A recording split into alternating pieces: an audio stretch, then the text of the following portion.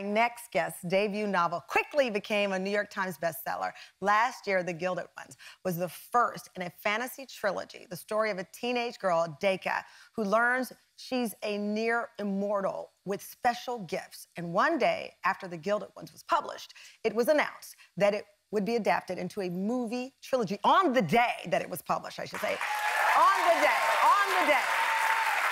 Now, the second book in the trilogy, The Merciless Ones, is set to hit shelves. It picks up as Deka and her army are poised to stop a dark force.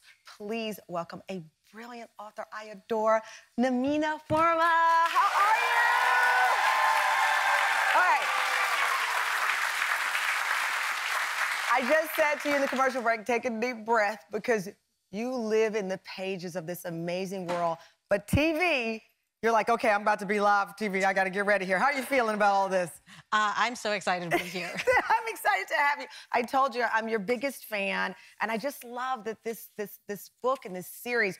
You said that the trilogy of these female warriors is like if Black Panther were stuck in the Handmaid's Tales and decided they weren't going to take it anymore.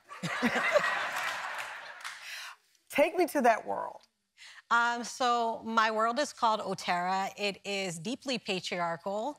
Um, and in Otera, there's a group of women who bleed gold and are faster and stronger than regular people. So everyone thinks that because of this, these women are demons until like actual demons come into the world. And then now, then they're like, wait a second, maybe now we can get these girls to like fight these demons and kill each other off. It'll be great. Namina, let me, in this book, um, you write about this scene where the bodies are discovered of women who had been killed, and, and our warriors are there. And I'm going to you say in this in this passage, I, I focus on the necklace hidden under my armor, my touchstone in times like this.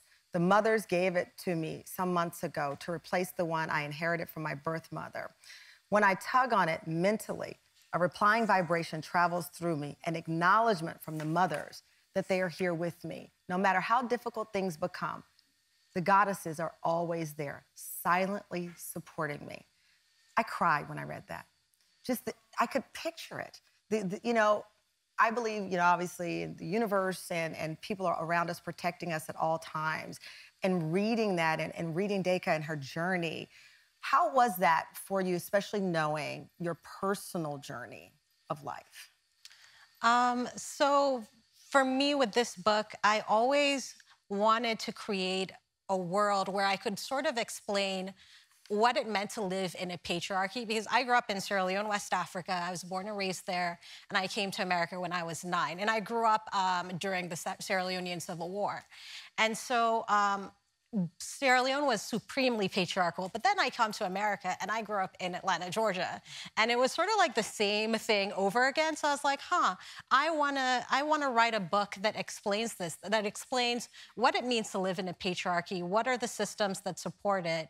Um, and I just, I thought it was really important for teen, teenage, teenagers specifically um, to see and to like understand, because I always had questions growing up and there weren't really any answers for me. And so I wanted to sort of make it easier for the next. I love that because you're answering a lot of questions that were natural to your life experience and you're using Deka as almost like an alter ego.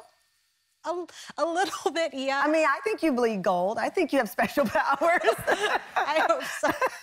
it, it, it, so for you, this has been a whirlwind, as I mentioned. Um, the success of the first book in the series, the third has not even been published yet and the people behind Lovecraft Country, which was my favorite show on.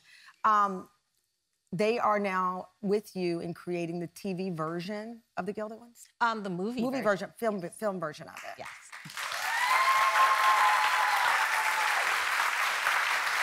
Again, looking at your life, Sierra Leone, this this whirlwind journey for you, and now to have a movie, and you're writing the screenplay, or you're helping it. Yes, I am writing the screenplay. Um, I, it's just sort of been like a lifelong dream. I actually went to film school, like, and so it's been um, just amazing, you know, be like having a seat at the table and being able to like write the book and then transfer it to the movie, which is like a whole other sort of different thing. Uh, it it's just been wild, like I know, I'm sitting here looking at you like this because I feel like I'm looking at the future. You are incredible, and the images and the writing, it, it's, it's breathtaking for everyone to read. Namina, I'm so happy. I am, I'm fangirling out right now because you are amazing. Congratulations on everything.